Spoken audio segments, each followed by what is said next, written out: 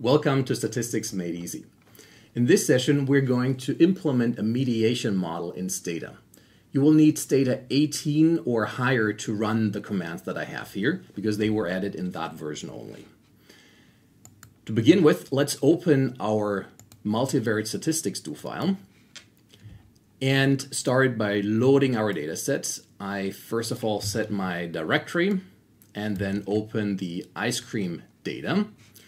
The mediation model starts a little further at the bottom of the script after the moderation model. Here we are. And before we run this command, I'd like to walk you through the different options we have here in this command. The baseline command is mediate, followed by the dependent variable in parentheses. In our case, we want to estimate ice cream consumption. And I can also specify my control variables like the temperature or the location of my ice cream parlor. And you also see this option here, linear, which means that I'm estimating a linear regression model for my dependent variable because ice cream consumption is a linear variable and it is a good fit.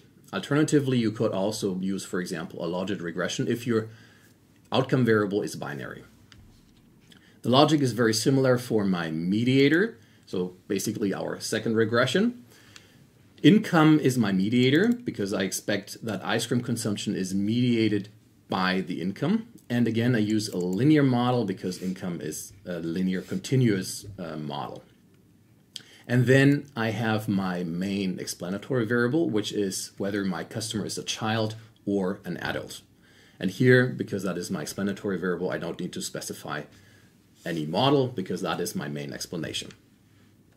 As you see here, I also specified an option, the all option, which will provide more detailed results when I run the regression command. So let's start by running this command.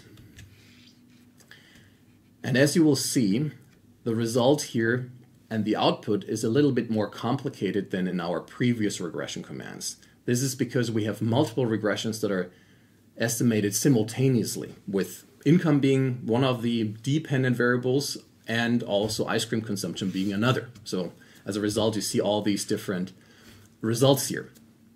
So first of all, uh, let's look at what all these different abbreviations mean. And remember, I have a video on with more detailed explanations on all these different terms here. The PO means um, is the first part that you see in the output. I'm going to highlight two here. The Y0M0, this is uh, this represents the potential outcome mean when both the independent variable and the mediator are at their baseline or reference level zero. It is the expected outcome if the independent variable and the mediator did not occur or were not present. The other extreme, y1, m1, is the potential outcome mean when both the independent variable and the mediator are both at the level of interest 1.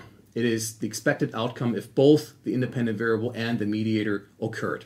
And accordingly, you have uh, the y1, m0 and the y0, m1 option, which are then the other two combinations that you have.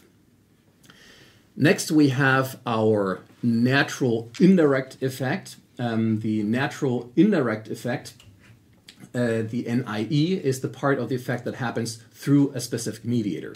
In this case, this effect is not statistically significant given the relatively high p-value. Then we have our natural direct effect. This is the effect that goes directly from the independent variable to the outcome without passing, passing through the mediator. We have the pure natural indirect effect.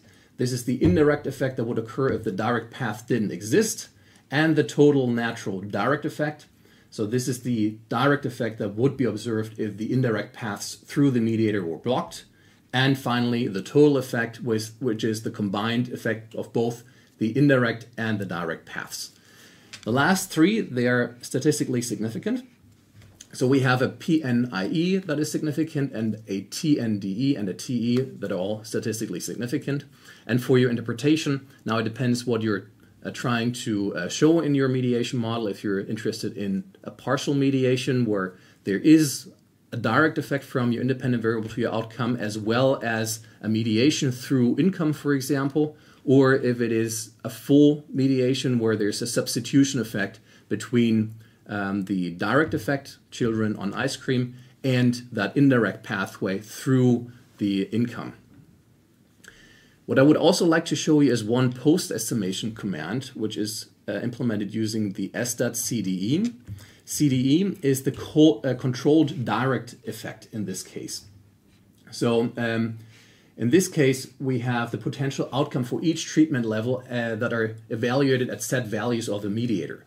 In my case, I'm choosing for my mediator the levels 50 euros, 500 euros, and 5,000 euros to see how that would influence the controlled direct effect. But you can essentially set any value you like depending on the distribution, for example, of your variables or uh, cutoff points that may be interesting. So in my case, for instance, it might make sense to distinguish between uh, children with pocket money and then adults and different income groups, for example, and then estimate the controlled direct effect. So this was a brief introduction to mediation models in Stata. There's also a lot of documentation provided by Stata on the mediation model and examples, so I encourage you to watch those as well. But I hope the short, brief, uh, hands-on intro was helpful for, to, for you to get started. Thanks for watching.